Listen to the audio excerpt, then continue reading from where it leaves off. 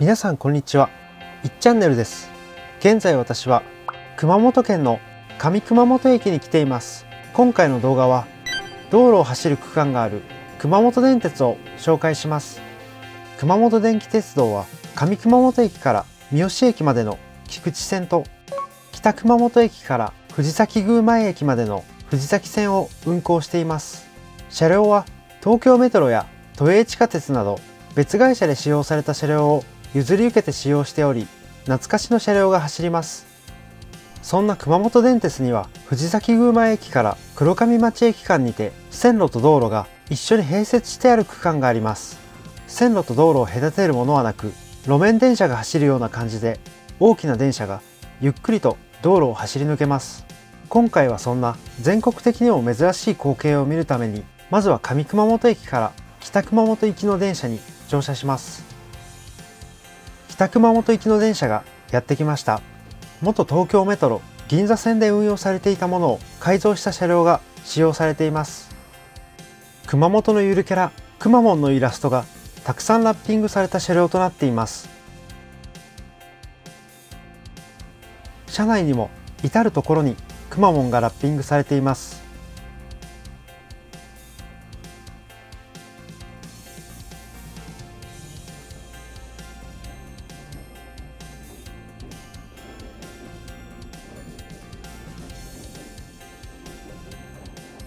電車は約10分で終点の北熊本駅に到着します。北熊本駅を降りると目に入るのは別の会社で以前活躍していた懐かしの車両です。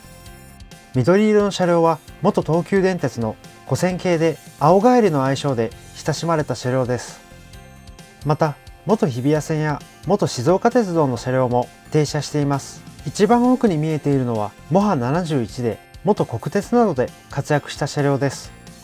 様々な種類の懐かしい車両が停車しており見ているだけで楽しい光景が広がります。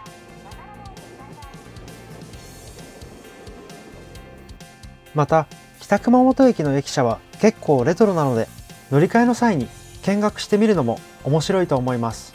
駅舎の右手には熊電ショップがありグッズなどを購入できます。しばらくして藤崎宮前駅に向かう電車がやってきました。こちらで道路との併用軌道区間に向かいます。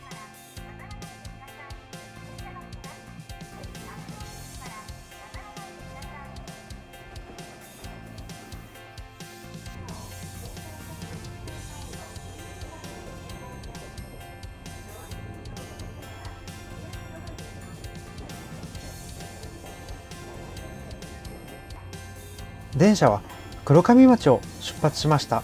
ここから次の藤崎宮前駅までの間で電車が路上を走る区間があります。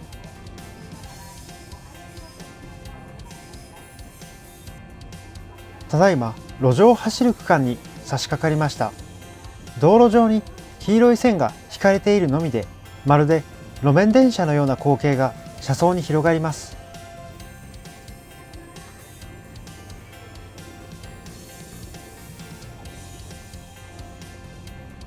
約150メートルほどで道路を走る区間は終了します。スピードは速くないですがしっかりと道路を電車が走っていました。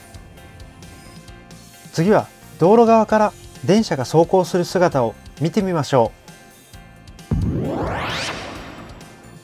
こちらが道路上から見た線路と道路の併設区間です。線路と道路を区切るのはオレンジの線のみで線路のすぐ横を車が走行していきます。映像奥側が藤崎宮前方面です。踏切付近から併用軌道が始まり道路の一部を占有し住宅街の中を蛇行しています。住宅の玄関が併用軌道の前にあり家を出ると電車が走る光景が広がりそうです。併用軌道は奥の踏切付近まで続きます。一般的に電車は専用軌道という道路以外の敷地に敷設された線路を走ります。一方路面電車は道路などを走る併用軌道です。熊本電鉄は鉄道ですが藤崎宮前駅と黒上町駅の間の一部に併用軌道が存在します。この併用軌道は京浜鉄道として建設された名残として残っているものです。藤崎宮前側から先ほど乗車した電車がやってきました。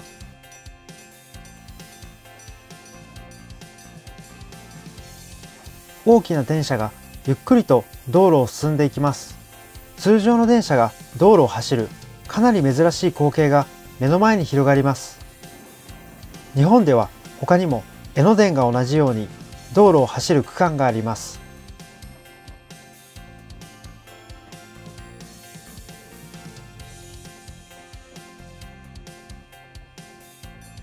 少し待機していると反対側からも電車がやってきました。元東京メトロ日比谷線の車両が堂々と道路上を走っていきます。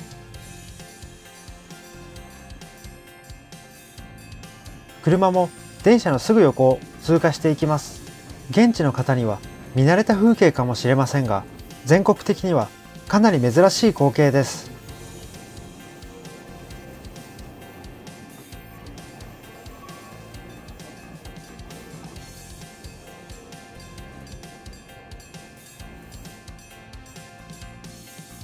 熊本電鉄は懐かしい車両も多く道路との併用区間も珍しいので熊本を訪れた際に寄ってみるのもおすすめです。